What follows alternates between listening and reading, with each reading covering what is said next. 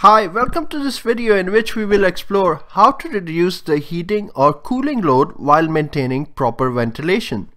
You can save significant amount of money on your cooling and heating bills, so watch this video till the end to benefit from it. On this channel Synergy Files, we aim to inspire budding engineers and technicians for a better, more sustainable world. Please subscribe to the channel to get notifications of our latest videos.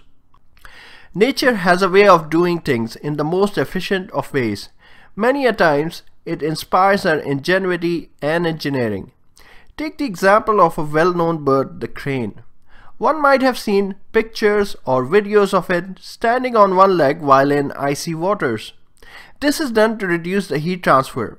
But behind the more obvious behavior, there's another fascinating mechanism in place that further prevents the loss of body heat there's a little biological heat exchanger in the crane located in the lower part of its body. This heat exchanger allows the transfer of heat between the outgoing hot blood to the legs and the oncoming cold blood from the legs. The transfer of heat between the two blood streams reduces the temperature difference between the two. This means that the outgoing hot blood is not that hot anymore and it will lose lesser heat when it finally hits the portion of the leg that is immersed in water. It also means that the incoming cold blood is not as cold going into the body. Thus, with this simple heat exchange mechanism, the animal saves a lot of thermal and in turn metabolic energy. Based on the same principle, we have a simple device called the air-to-air heat exchanger and this is used for preserving the hot and cold environment of our dwellings while maintaining ventilation requirements. If we look at our houses, in a sense they breathe in air and they breathe out air, also known as ventilation.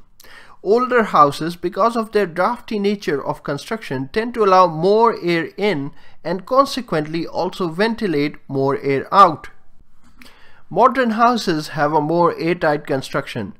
This is due to the usage of elements like double doors, double glazed windows, and other snug fit sealing mechanisms around the openings. There is still some amount of air that gets in. In fact, it is important that it does get in and leaves the dwelling. For a healthy living, the UK building regulations require one air change every two hours. So with that ventilation requirement, there is a problem of energy loss. In other words, we do want the air to change, but we do not want the energy in the air to change. If we're looking to heat the house, then we do not want the incoming air from outside to be much cold. Likewise, if we are trying to cool the space, we wouldn't want the incoming air to be too hot.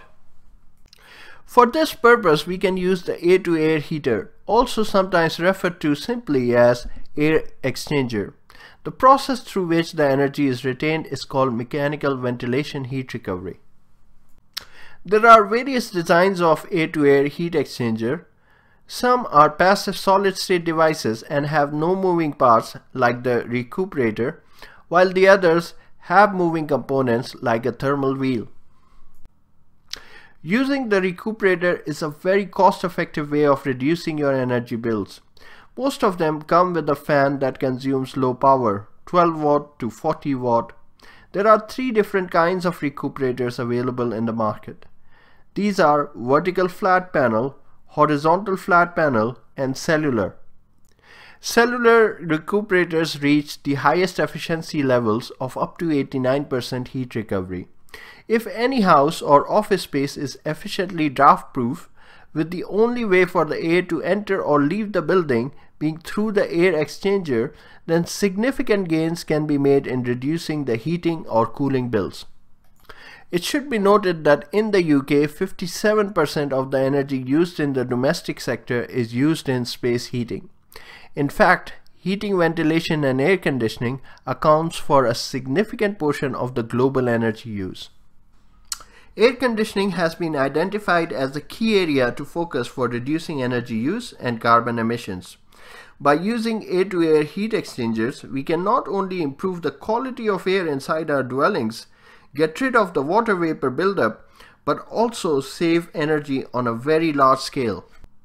It has been experimented that through the use of good insulation, draft proofing, and compliance with modern building standards, many houses have been made that can be heated with the metabolic heat of occupants alone. In these houses, air-to-air -air heat exchangers were used as standard. And with this, the video is concluded. Please make sure you hit the like button if you learned from the video and if you would like more such videos to be made. Subscribe to the channel if you haven't already. Thank you for your attention.